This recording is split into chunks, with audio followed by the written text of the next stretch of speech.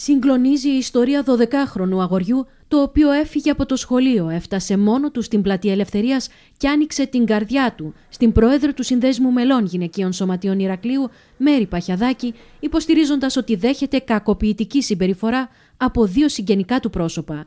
Η κυρία Παχιαδάκη άναυδη άκουσε το παιδί να εξιστορεί το καθημερινό μαρτύριο που όπως ισχυρίζεται ζει, ζητώντας της βοήθεια.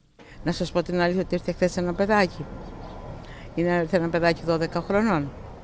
Και μας είπε ότι κακοποιείται από όλη την οικογένεια.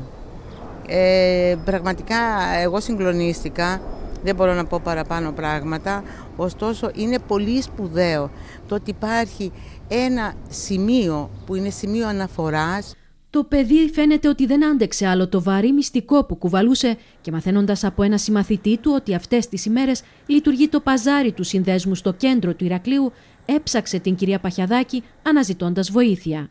Η υπόθεση διερευνάται, έχει πάρει το δρόμο της εισαγγελίας και των αρμόδιων κοινωνικών υπηρεσιών και απομένει να επιβεβαιωθεί η μαρτυρία του παιδιού. Το παιδάκι αυτό ήρθε μετά το σχολείο του και με βρήκε, με έψαξε, με βρήκε, μου είπε το πρόβλημά του ε, φυσικά εμείς έχουμε συνέχεια, υπάρχει συνέχεια σε αυτό.